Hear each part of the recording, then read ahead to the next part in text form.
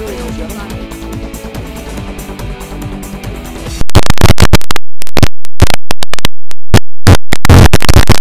buenos días. Los saludamos desde el municipio de Angelópolis. Estoy aquí en la reserva El Romeral. Es una zona boscosa rica en biodiversidad y también rica en cuencas hídricas que abastece, por supuesto, a varios acueductos multiveredales.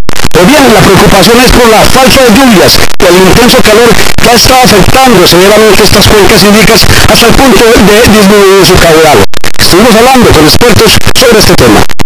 La preocupación es porque estamos en estos momentos en la quebrada la, la bramadera que surte el acueducto municipal y vemos que ha, ha, disminuido aproximadamente un 45% en su caudal donde se observa la, que está ocurriendo en estos momentos por el fenómeno del niño y donde si no cuidamos, racionalizamos el agua y cuidamos esta fuente, estas fuentes hídricas y, y esta reserva nos vamos a ver afectados y a llegar a un racionamiento más adelante de continuar con esta fuerte sequía.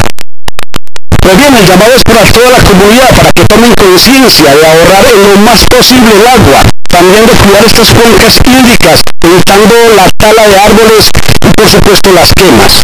Esa es la información que tenemos a esta hora de la mañana desde el municipio de Angelópolis. Nos vemos ustedes en estudio con más Tele Noticias. Muy buenos días.